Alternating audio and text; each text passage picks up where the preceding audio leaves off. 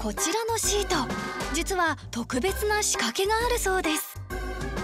仕掛けは降りた時に分かりました。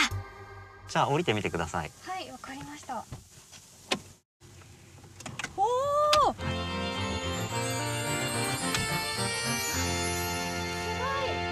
綺麗にスムーズに降りられました。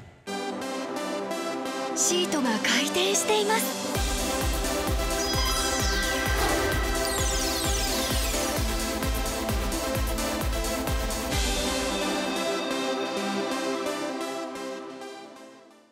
であれば車を降りるときは足を開いて片足ずつ降りなきゃいけないんですがこのシートだとこのレバーを使って足を一度外に出してもうこれで降りられます。こちらのシートその名もターンチルトシート。開発の目的は？お年寄りや体の不自由な方の車への乗り降りをサポートするシートです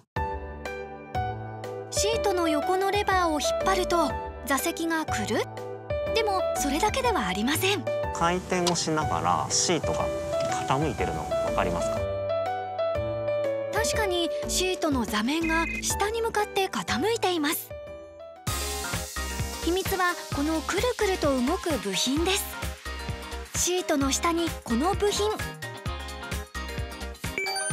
さらにその下の土台は斜めになっていてくるっと回すとシートが傾くんです。でも一体何のためにこんな仕組みを考えたのでしょうか？地面に足がついて立ち上がるのも楽になると。腰をかがめることなくはい。立ち上がることができる、シートが回転することで両足で立ち上がることができまた傾くことによって地面が近くなり楽な姿勢で立ち上がることができました立ち上がりがすごくスムーズですね。足腰の弱った高齢者などは全国でおよそ500万人と言われていてそのうち福祉車両を利用しているのは1%程度。このシートをヤリスなどにオプション装備することで福祉車両の普及につなげたい考えです。